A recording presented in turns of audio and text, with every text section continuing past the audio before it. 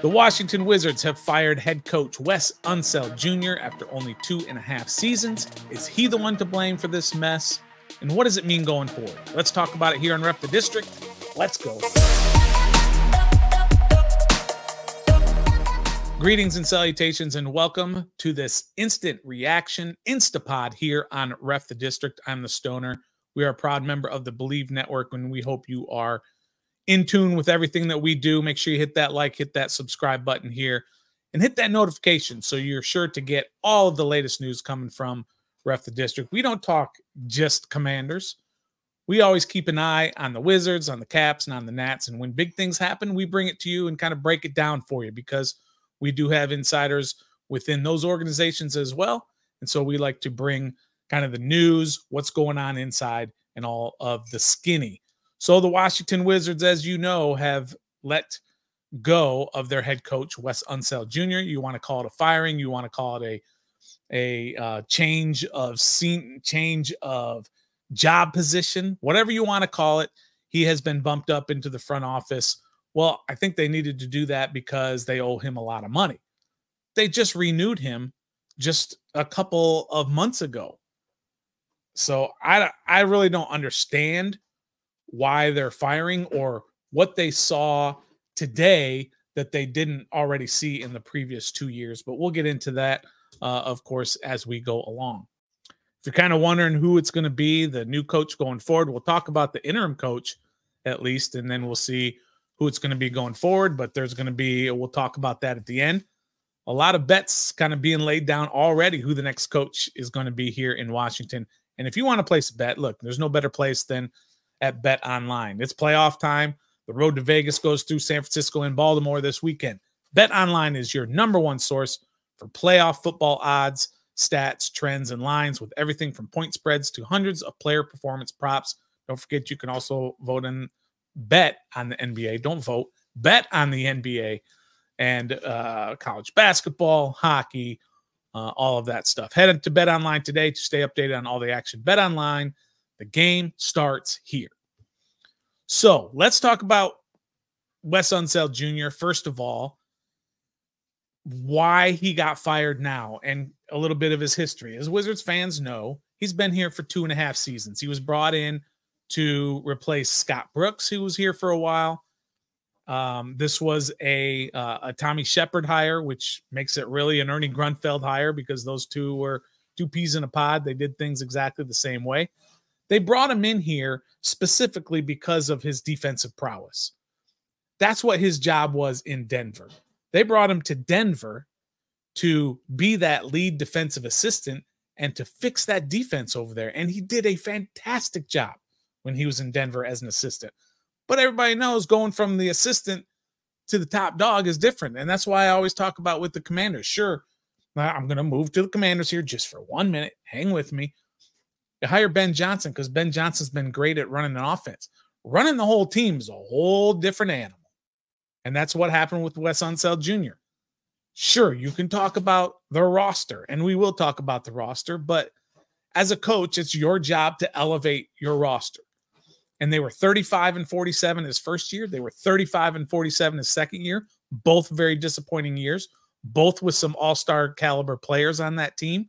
They had Bradley Beal. Of course, last year they had Beal, Kuzma, and Porzingis, and still could only win 35 games.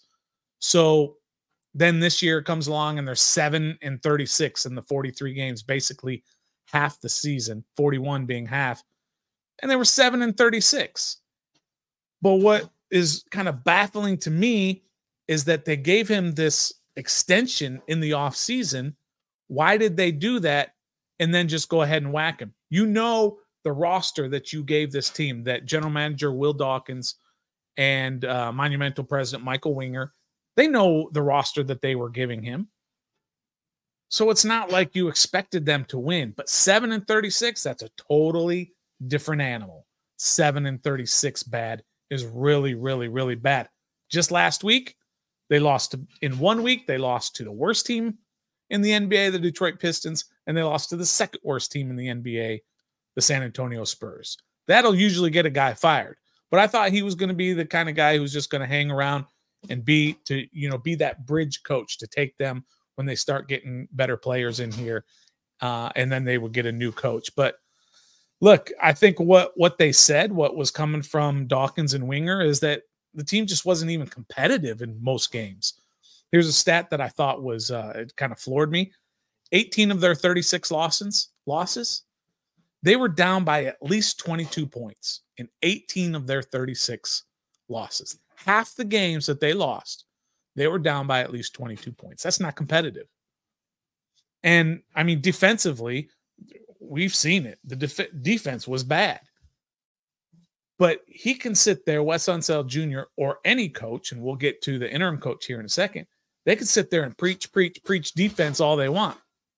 If the players aren't locked in defensively, it doesn't matter. Or they just don't have the talent to understand proper rotation on defense, or they don't have the want to, or they don't have the energy, whatever it is. They just weren't getting it done. Seven and 36 is disgustingly bad. So I guess a change had to be made. But but no doubt, kind of like again with some of these guys, the the front office, they have a lot of respect for number one, the name. Number two, the man. They have a lot of respect for him. So they kept him on in a front office role, probably because they're going to pay him. So they asked him to stay on. But Wes Unseld Jr. is going to land on his feet. At some point, he might get a second chance at a head coaching job, but he will get an assistant job whenever he's ready to move on from this organization. But it just wasn't good. He won 37% of his games in Washington. And I watch pretty much every game, although this last month I start watching the game and then I can't wa- I can't watch it. It's just not competitive. At least when Beal and them were here, at least you had a chance. At least you had hope that there there's no hope in these games. They get down immediately to to good teams, to bad teams, it doesn't matter. They'll have the fluky 30 point win on the road against Atlanta every once in a while. They'll have that, but they're not going to have any sort of consistent winning. They they just don't have the talent. They don't have the talent. And that's what the front office gave him. This is the roster that they gave him. But he wasn't able to elevate this team, any of the players defensively. They were the worst defensive team in the NBA. Sound familiar, Commanders fans? And they it was just obviously the energy wasn't there, the competitiveness wasn't there. And so they had to let him go.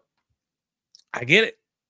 Had to, but I just don't understand why you give him an extension in the offseason, give him a horrific roster, and then say go out there and perform. And then say, you know what, you're not doing the job well enough. We're going to let you go. So they did end up uh, obviously letting him go. And but I mean, look at that roster. Uh, we were sold a bill of goods on Jordan Poole. Well, we thought he was going to be some sort of 27 to close to 30 point per game type of player. He's bad. I watch him. I can't stand watching Jordan Poole play basketball. Sorry, I can't. He's not committed. His energy isn't there. He I I he leads the league in in heat checks for a guy who's not actually on fire. He takes horrific shots. He has all these crazy moves and then ends up right back in the same spot. He doesn't actually break anybody down. He's too small to to guard anybody in that two position and the one thing that drove me the most nuts about uh, this roster, or maybe Wes Unseld Jr., and you can talk about his use of timeouts, you can talk about his rotations, all that. He started the exact same lineup 43 consecutive games. As bad as it got, he put the same guys out there. He wasn't holding people accountable. When Jordan Poole, game after game after game, was not performing, still put him out there in the starting lineup. And maybe Jordan Poole wasn't getting the minutes, and you could say, well, he wasn't getting the minutes. He was benching them for for periods. That's fair, but there's there's an honor to being part of the starting five that goes out there. And you got to say, you know what? You're not doing it. You got to go sit down for a while and let's try something different. We screamed about it all year with the commanders and, and the way the offense was struggling. Try something different. And he just wasn't uh, able to do that. All right. So, who is the interim coach? Brian Keefe is now the interim coach. He's another guy who focuses a lot on defense. Look, he's been there for one game and they gave up 123 points. It's not going to change. You're going to see the same thing going forward in terms of what this team is going to put out there on the floor. Uh, they've traded a few players, and they look. They brought in Marvin Bagley Jr. I like Marvin Bagley Jr., but um, he's not the savior of the franchise. Neither is Bilal. Bilal is a piece.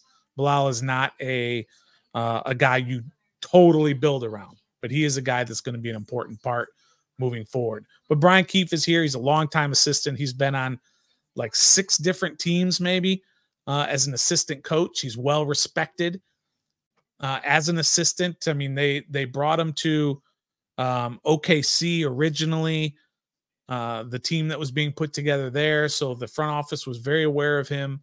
Uh, this particular front office because of their ties to OKC, and so they brought him along last year in 2023 as an assistant. Still an assistant.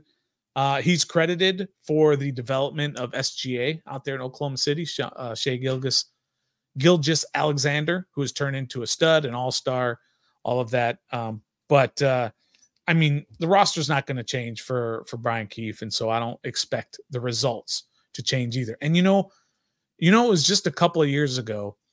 I was thinking about this. Remember when they were ten and three? They started the season ten and three. It was Wes. I think that was Wes's first year yeah, it was 10 and 3, and they had uh Montrezl Harrell uh going out. Remember they were chanting MVP for Harrell during the um early portion of the season, and then it just went all downhill. And it's been nothing good since. And we were like, oh, this one's Wes Unseld Jr. He's a, he's amazing. Anyway, the, that's in the past. So Brian Keefe is just going to be an interim for the rest of the year. Maybe they sign or or give him the the tag as the head coach for, and he'll be the guy who's the bridge to the guy they bring in to eventually turn this franchise around when they start bringing in better players, which hopefully is right around the corner. Who do we see as coach in the future? Who's who's a guy that you kind of look at? I've heard this name a lot. I kind of like it, but I'm not 100% sure. Juwan Howard, former Bullet Juwan Howard, who was here for a minute, right? He was here for a little bit and he was quite successful. Got a humongous contract while he was here. At the time, it was a huge contract. He's at Michigan. Michigan's kind of down because why? They don't have the players.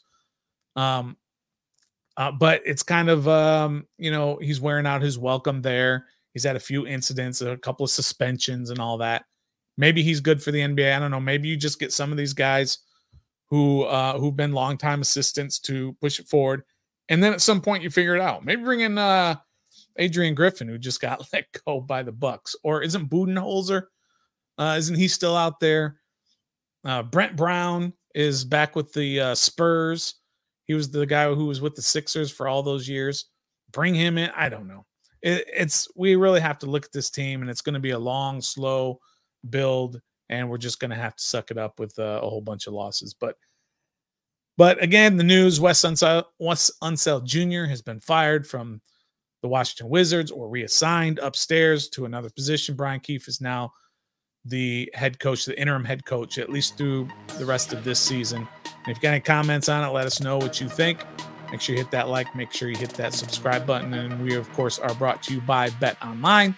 And until next time, be a fan.